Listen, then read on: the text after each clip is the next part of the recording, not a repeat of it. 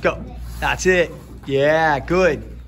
And then, boom, bang, boom. That's it. And bang, bang, bang. Good. That's it. Get him again. Good.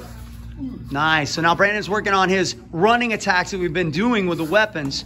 And Vlad's getting all these odd lines, like somebody that does not fight conventionally at him to be able to try and defend. What's great is he knows where the lines are coming from if he had two sticks in his hands.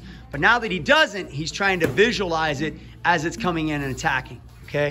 So now you get two drills to work on when you do it this way, right?